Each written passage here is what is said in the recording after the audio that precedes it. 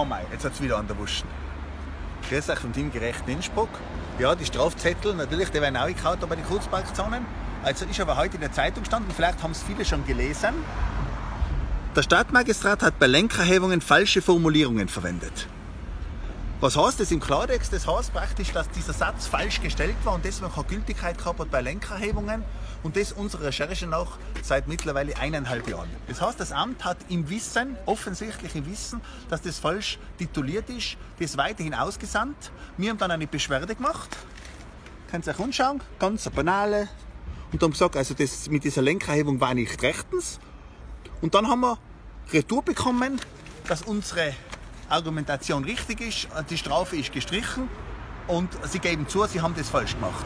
Jetzt kann man natürlich sagen, okay, haben wir Glück gehabt. Nein, es geht darum, dass in dieser Zeit wahrscheinlich Hunderte, wenn nicht Tausende Lenkerhebungen falsch ausgegangen sind und die Leute nachher da quasi zur Kasse gebeten worden sind, obwohl sie es eigentlich nicht zahlen hätten müssen.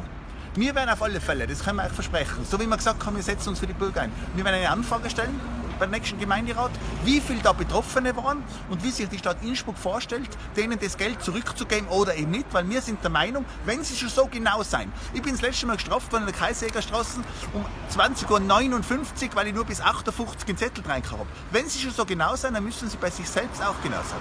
Also, liebe Bürger, wir werden auf alle Fälle für euch in den Ring steigen und werden versuchen, dass den Personen, die, die, die Unrecht bezahlt haben müssen, das Geld refundiert wird. Weil für das sind wir gewählt worden. In diesem Sinne, macht es gut. Wir sind guter Hoffnung.